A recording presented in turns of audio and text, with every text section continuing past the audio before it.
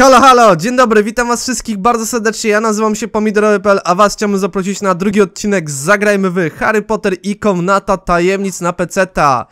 Poprzednim razem zrobiliśmy troszeczkę hałasu w szkole, tak zwane dymy żeśmy zrobili ja oraz Ron, a raczej Harry oraz Ron, gdyż nie zdążyli oni na pociąg Hogwarts Express i musieli się dostać Fordem Anglią do szkoły.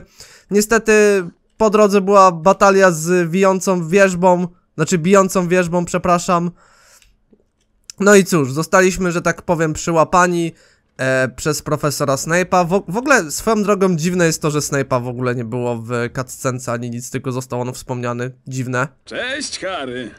O, cześć Nick. Po tylu latach wciąż spotykam w Hogwarcie nowe sekrety. Tu jest specjalny obszar, do którego można wejść tylko po zebraniu wszystkich 40 srebrnych kart czarodziejów. Po zebraniu 10 srebrnych kart czarodziejów dostaniesz klucz, który otworzy jeden z czterech zamków. Zobacz, czy uda ci się znaleźć wszystkie 40 srebrnych kart ukrytych w Hogwarcie i jego okolicach. No kurde, to trzeba będzie odblokować, kurde, sobie te drzwiczki. Jestem ciekaw, co tam jest. No ale tutaj był bez głowy nick, jak mogliście zobaczyć. I w ogóle faj, fajny nawet e, aktor głosowy go dubbinguje, nie będę tego ukrywał. No ale cóż, zrobiliśmy troszeczkę zadymy, nie będę tego ukrywał. O, tutaj mamy jakieś przejście. Jestem ciekaw gdzie.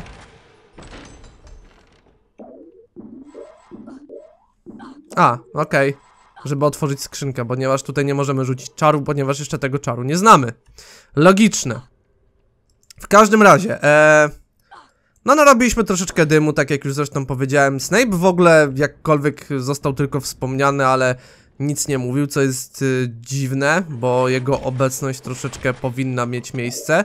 W szczególności, że to on przecież w filmie i w książce tam przyłapał Harego i Rona, że spóźnili się w ogóle do szkoły, no i mieli przecież oni wylecieć, a jednak jak widzicie, no nie wylecieli, więc to chyba dobrze, że nie wylecieli. I teraz pytanie, czy ja miałem iść tutaj, czy mam iść dalej? Ale chyba tutaj, tak mi się wydaje. Jo, chyba dobrze idę.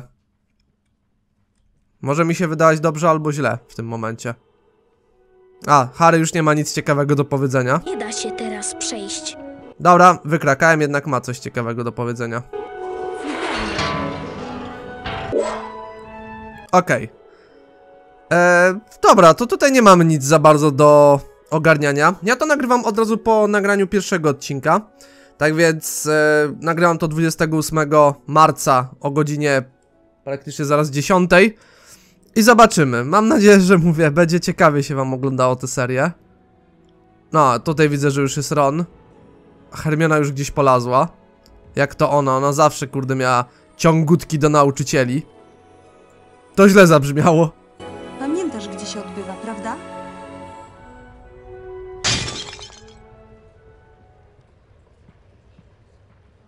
Lepiej się stąd zabierać. Filcz może gdzieś tu być. No proszę, słyszę huk i kogo widzę? Pan Harry Potter i potłuczona antyczna, jedyna w swoim rodzaju waza. Argusa Filcza, woźnego, nienawidzili wszyscy uczniowie Hogwartu. Niektórzy wierzyli, że jego kotka, pani Norris, szpieguje uczniów. Sama spadłam, naprawdę. Chodź, chodź do mnie, rozerwę cię. Co to było? Co? O czym ty mówisz? Słyszałem głos. Słyszenie głosów nic ci nie pomoże. Zapiszę wszystko, a teraz idź już. Muszę tu posprzątać. Musiałem się przesłyszeć.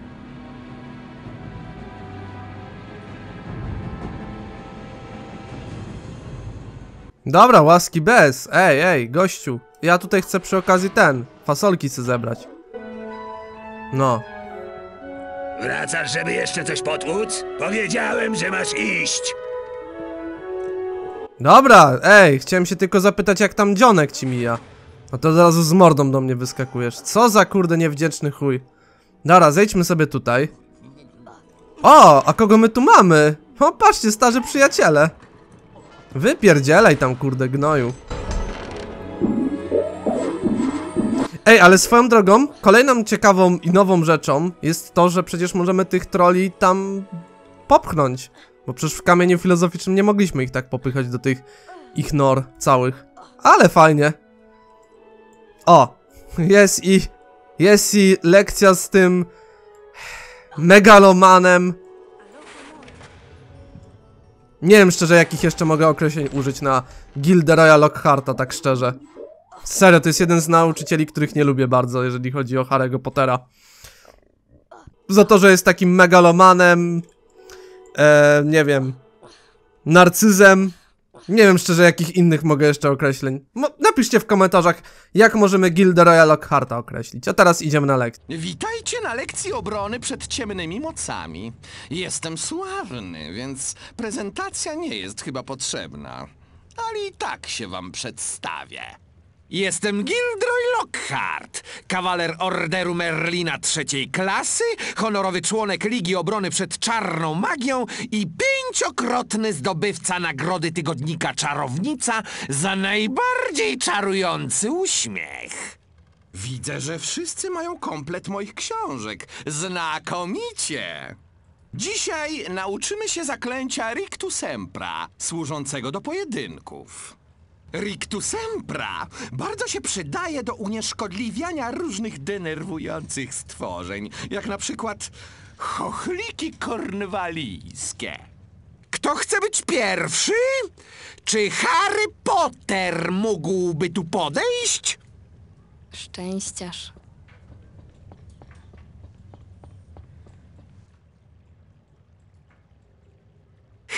Harry, oczyść całkowicie umysł.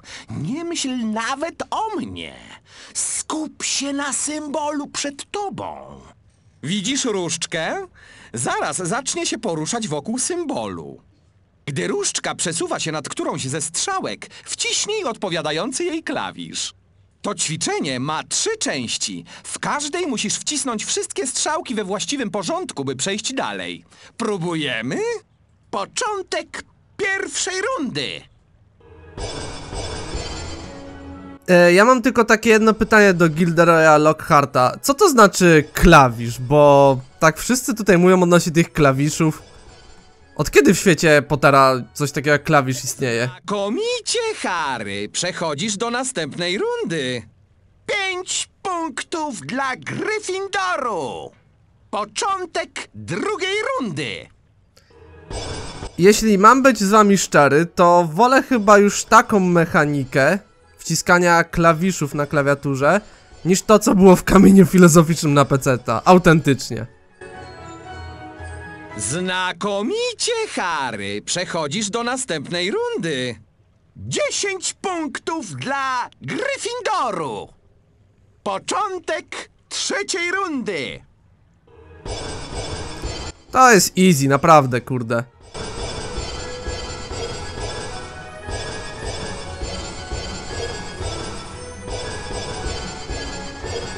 No, i co w tym trudnego? Nic. Harry. Czyż to nie wspaniałe, że masz takich nauczycieli? Błyskawicznie zrobiłeś potrzebne ćwiczenia. 15 punktów dla Gryffindoru. Opanowałeś zaklęcie Rictu Sempra. Nie poszło ci tak dobrze jak mnie za pierwszym razem, ale mnie nikt nie dorówna. A teraz czas przetestować twoją biegłość w zaklęciu Rictu Sempra na moim własnym wyzwaniu Rictu Sempra. Powodzenia, Harry!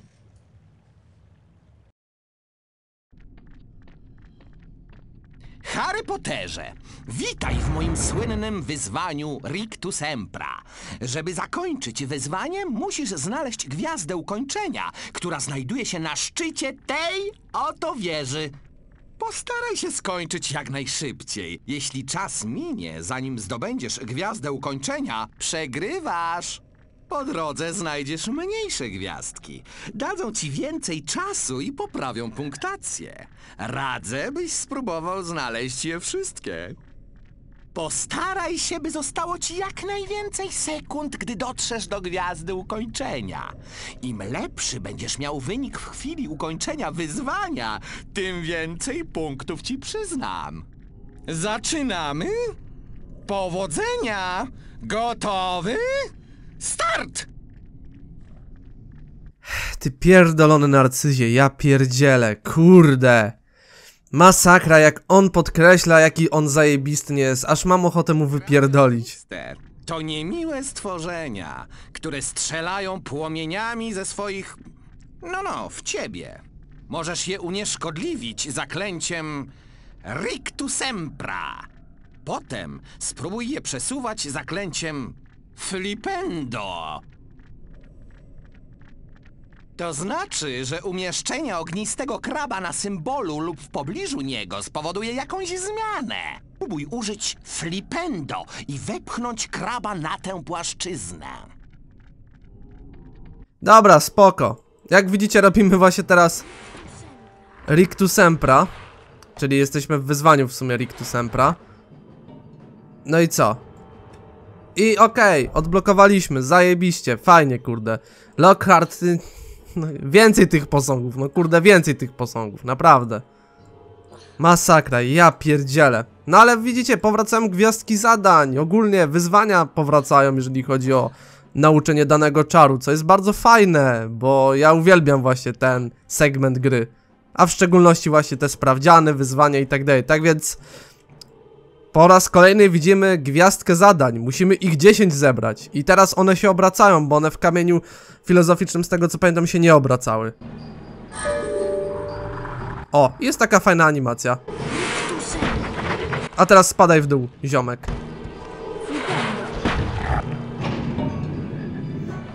No dokładnie. Ale zanim pójdziemy dalej, to trzeba cofnąć się tutaj, ponieważ tam jest skrzyneczka. I jest karta! Zbierzemy tę kartę i zobaczymy, co nam ciekawego dała ta karta. Kogo żeśmy zdobyli teraz? Herman Wintry, Wintrigram 1974, czasy obecne. Gra na lutni w popularnym zespole muzycznym Fatalne Jędze. Okej. Fajny w ogóle, fajna w ogóle nazwa zespołu, Fatalne Jędze. A czemu Fatalne Jędze? Halo? Co to ma znaczyć? A, a tego kraba nawet nie musimy już atakować, ponieważ... Po co? Po co mamy go atakować? Po co? Czy coś tutaj mamy? Jakiś secret do odblokowania? No nie. To jest wielki, pomarańczowy ślimak. Nie dotykaj jego ani jego śluzu. Kwas, który wydzielają, bardzo parzy. Harry, ja to naprawdę wiem. Rictu Sempra je oszołomi, a potem możesz je przesuwać za pomocą flipendo. A skąd ty to możesz wiedzieć, co? Oparzyłeś się, że wiesz? Skoro się oparzyłeś, no to nie jest z ciebie w takim razie dobry nauczyciel, ponieważ gdybyś był dobrym nauczycielem, to byś jakkolwiek uważał na siebie. Taka moja drobna rada, nie żeby coś, panie Lockhart, ale mógłbym wobec ciebie zastosować wiele, naprawdę wiele obraźliwych określeń, więc powiem tylko jedno z nich, nie ucz ojca dzieci robić w tym momencie, więc tam zamknij dupę i teraz patrz jak mistrz gra. Bo ja jestem Harry Potter, człowiek, dziecko, które przeżyło, a ty to tam co jedynie możesz sobie, wiesz, tam kwiatki od spodu wąchać. To jest jedyne, co ty potrafisz. Autentycznie, no mówię, żaden nauczyciel mnie tak nie triggeruje jak Gilderoy Lockhart. Tak, jak Gilderoy Lockhart, żaden nauczyciel mnie tak nie triggeruje jak on. Nawet Snape nie jest taki triggerujący, bo Snape jest całkiem w porze. Ja bardzo lubię Snape'a za to, że jest taki wredny bardzo. Ma taki swój charakter, kurde, a Gilderoy Lockhart to jest po prostu... Ech. Szkoda strzępić ryja na tego osobnika, tak szczerze. Bo mógłbym naprawdę wiele obraźliwych określeń w jego stronę użyć. Em, chciałbym użyć flipendo, żeby dostać się tam. Czy mogę? O, teraz mogę. Pamiętajmy, że jak zbieramy gwiazdki zadań, to nam czas do przodu idzie. To tak miejmy to na uwadze, no nie? O, karta czarodziejów. ale to zaraz zbierzemy. Przy okazji sobie czas przedłużymy.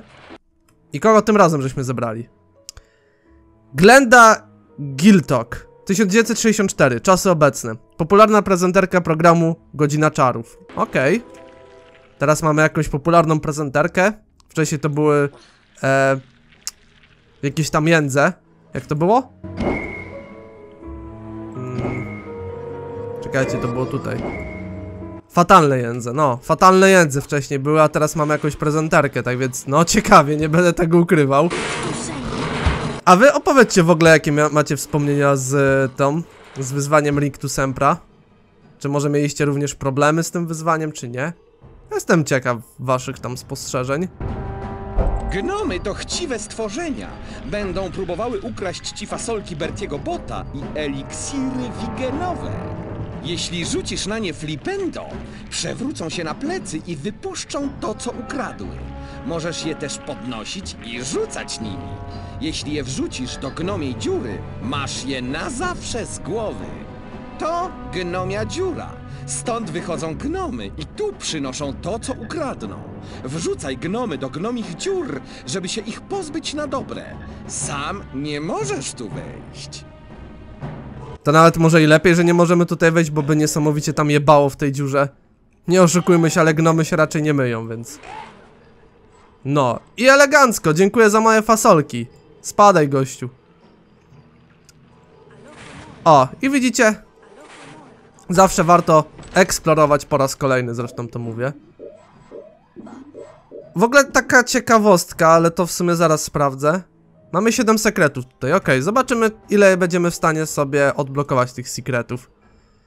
To więc teraz tak, tu mamy czoklet froga i skrzyneczkę. A co w skrzynce? O, kolejna karta. Kogo tym razem mamy? Myron e, Walktail, 1970 czasy obecne. Lider popularnego zespołu muzycznego Fatalne Jędze. Okej. Kogoś kolejnego z fatalnych jędz mamy. No, kurde, ognisty krabie, wypadł z baru. Nie chcę cię tu widzieć. Ja chcę przejść dalej. Oj, trzeba uważać, bo on tutaj z tej swojej dupy strzela. Bo to jest to, co Lockhart w ogóle powiedział, e, zanim żeśmy tutaj, znaczy nie, jak żeśmy weszli do tego wyzwania, to on tam coś wspominał odnośnie ognistych krabów, że one strzelają ze swojej, no i nie dokończył już wtedy. A trzeba było powiedzieć, że strzelałem ze swojego, kurde, odbytu, albo ze swojej tego, dupy. Nie wiem, nie rozumiem, kurde, dlaczego. Ta, ta gierka próbuje być za bardzo family friendly, nie oszukujmy się. Nie oszukujmy się, ale taka jest prawda. To są fakty w tym momencie, proszę państwa. Mam nadzieję, że w ogóle kamerka mi wytrzyma do nagrania całościowo tego odcinka. Dlatego będę się trochę streszczał, żeby nie było przypału. Dobra, co tutaj mamy? Mamy fasolki, no to tyle to ja też wiem.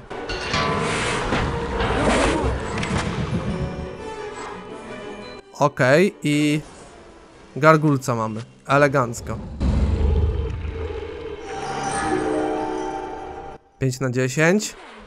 Ty sobie tam sieć. I coś jeszcze chyba mamy. Coś jeszcze, kurczę. A! Dobra, wydawało mi się, ponieważ tam była przecież ta gwiazdka zadań, no nie? Sprawdźmy w ogóle tutaj e, po terenie, czy czasem nie ma czegoś, gdzie możemy czar rzucić. A, widzicie? Coś tutaj jest. Patrzcie na to.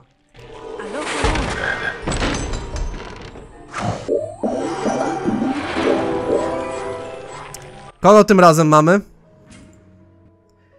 Gidon Kramp, 1975, czasy obecne.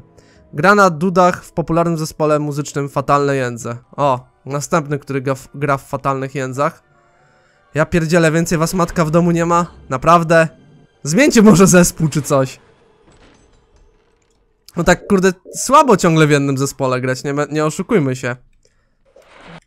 Dobra, a co teraz mamy? Eee, Headcode Barbary, 1974 czasy obecne. Gra na gitarze rytmicznej w popularnym zespole muzycznym Fatal... ja pierdolę, ile tych fatalnych jęc jeszcze będzie? Tak tylko chcę się zapytać. Nie żeby coś, ja się bardzo ciekawię tylko w tym momencie. Ile jeszcze tych fatalnych jęc będzie? Okej, jesteśmy teraz sobie tutaj. I co teraz? Aha, musimy ustawiać tak wszystkie te mordy tego Lockharta. Czyli przykładowo jak ustawimy na trzy takie głowy, to się nam tutaj odpali, tak? Miejsce. I co teraz? Halo? Proszę się otworzyć. Okej, tu się nam najpierw otworzą.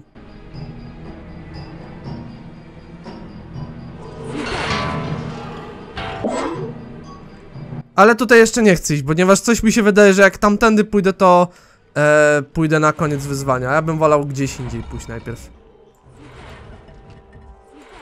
Tak więc trzeba tutaj najpierw ustawić odpowiednie zdjęcie Gilderoya i proszę chcę iść do tej mordy z profilu bardziej. No czemu nie chcą się te drzwi otworzyć? Co ja źle zrobiłem w życiu? Wszystko, wszystko źle zrobiłem. Aha, kumam o co chodzi, dobra. Przecież to musi być odpowiednio ustawione, no przecież. Przecież żeby otworzyła się ta, ta jego morda właśnie, o, dokładnie. O to chodziło. Ale nie ogarnąłem tego na początku, widzicie? Ale cymbał ze mnie. Ale cymbał ze mnie, ja pierdzielę, ale 3 IQ to było z mojej strony w tym momencie. Ja się zastanawiałem, czy mi się coś czasem nie zbagowało. To jednak się nic nie zbagowało, tylko ja po prostu cymbał jestem, więc... Nieważne, idź, grajmy dalej, grajmy dalej, naprawdę, bo się tylko będę kompromitował. A co tutaj mamy teraz w tym momencie? O, i gwiazdka sobie zle zleciała do nas. Elegancko. Czy tutaj coś mamy? Nie, wszystkie ściany są spenetrowane, nic tutaj nie ma ciekawego, więc zabieramy co nasze. 7 na 10. Elegancko. Dobra, więc teraz trzeba ustawić te mordy z przodu, więc jedziemy z koksem.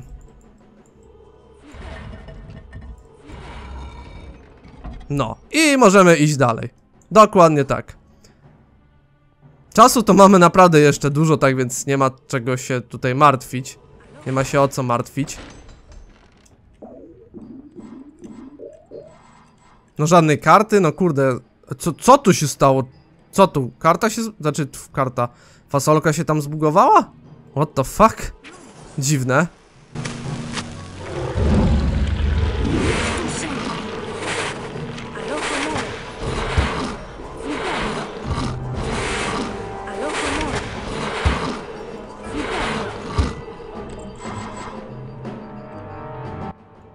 Chyba jeszcze raz użyję Lumos. Przyda się w razie co. Dokładnie tak.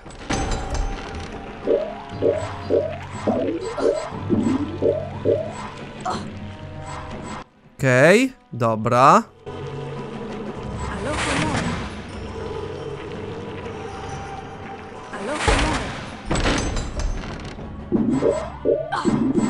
Na razie tylko kurde same fasolki zdobywamy. Na razie jest, tak bym powiedział, bardzo optymalnie. A szkoda, bo fajnie byłoby...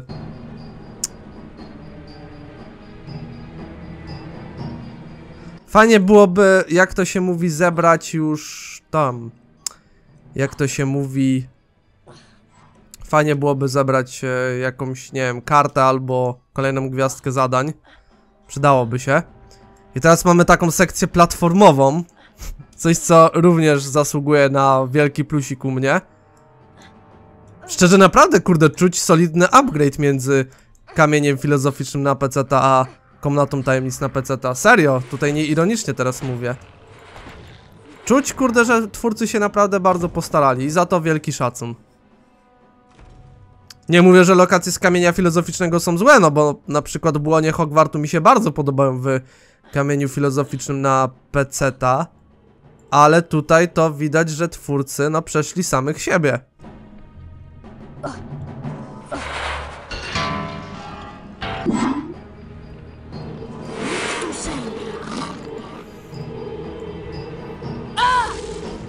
Dobra, lepiej uważać. Wywalone w tych ślimaków. Dobra, co tu mamy jeszcze? Co tu, co tu kurde mamy? A tam coś jeszcze było? A nie, tam jest otwarta skrzynka co jedynie. Dobra, nieważne. Nevermind. Sprawdzamy po ścianach, czy czasem nie ma tutaj żadnego secreta. Ile ich w ogóle mamy? 5 na 7. O kurde, ty! 5 na 7 secretów. Nice! Może się uda tutaj wszystkie zdobyć. O! I następna karta brązowa. Dobra, co tu mamy? E, Merton Graves, 1978 czasy obecne. Gra na wiolonczeli w popularnym zespole muzycznym Fatalne Jędzy. Jezus Maria. Dajcie spokój tym fatalnym jędzom. Co one wam zrobiły? O! Nice one, jesteśmy w klatce zamknięci. Co, gra myśli, że sobie nie dam radę? Nie ze mną te numery, Gierko. Nie ze mną te numery. Dam radę i nawet nie oberwę. Zobaczysz.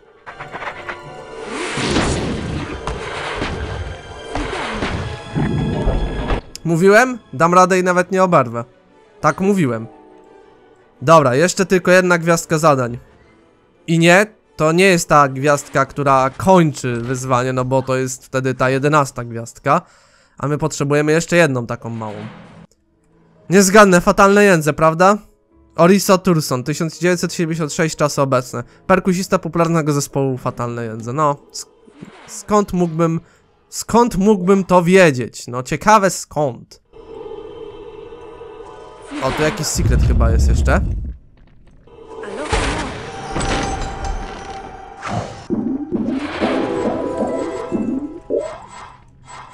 Dokładnie. Tak, dokładnie, 6 na 7 e, Kirley Duke 1971, czasy obecne Gitara prowadząca w popularnym zespole muzycznym. Ja pierdolę, jebane fatalne jędze. Kuźwa mać, jebane fatalne jędze. Dajcie spokój tym jebanym fatalnym jędzom.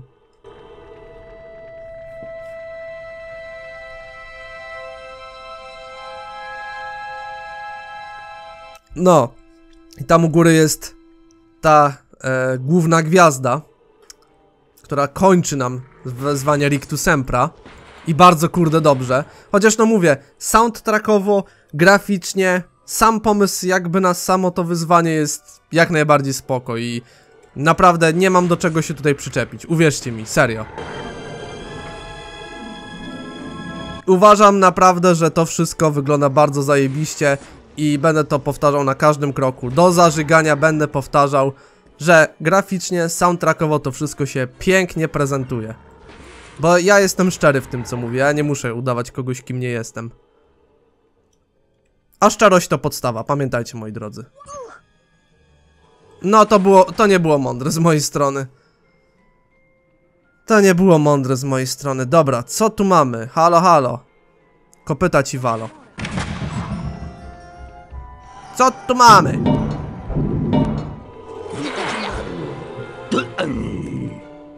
I rzucamy gnomem do jego dziury. Wypierdalaj. Dokładnie tak.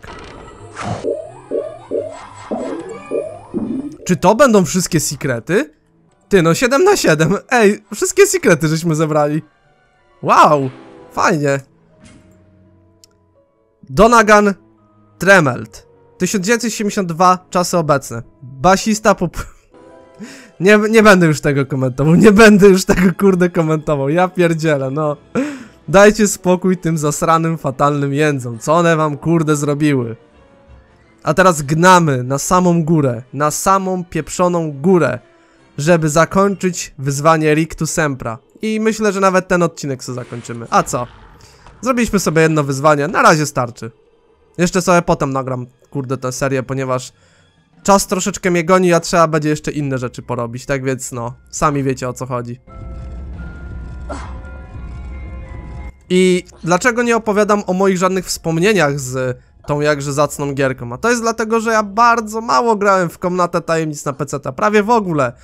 Jedyne w co grałem najwięcej to w Kamień Filozoficzny na PC, tak więc to jest jedyne w co troszeczkę grałem, a w Komnatę Tajemnic na PC bardzo malutko, tak więc te wszystkie moje tutaj wspomnienia i inne tego typu rzeczy będę mówił na bieżąco. I w ogóle fajnie, fajnie wygląda ten niebo teraz, takie nieco fioletowe, niby jakaś ap- apokalipsa może w sumie przyjść, albo jakieś inne gówno. No i przy okazji jesteśmy otoczeni tym murem. Coś pięknego. Znakomicie, panie Potter. Ukończył pan moje wyzwanie Rictu Sempra. Czas, jaki pozostał, zostanie teraz przeliczony na punkty. 159 punktów, no proszę państwa. Panie i panowie.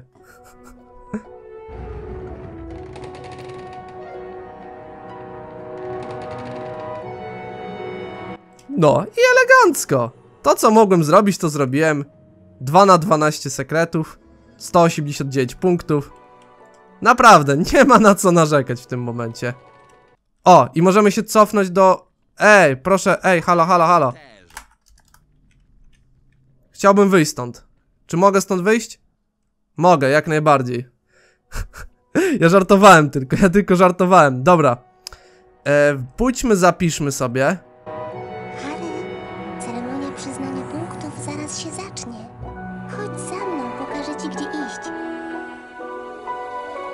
E, dobra, fajnie, ceremonia punktów spoko, ale ja bym wolał znaleźć książkę do save'u. Mimo, że wiem, że gra się mogła automatycznie zapisać, to jednak chcę mieć tą pewność, że sobie zapiszę gierkę, no nie? I chyba pójdę tutaj, tak jak zapisywaliśmy sobie ostatni, w ostatnim odcinku. Tak myślę, że będzie chyba najlepiej. Na razie mi się nie śpieszy na żadną ceremonię e, przy tam podsumowania punktów i tak dalej.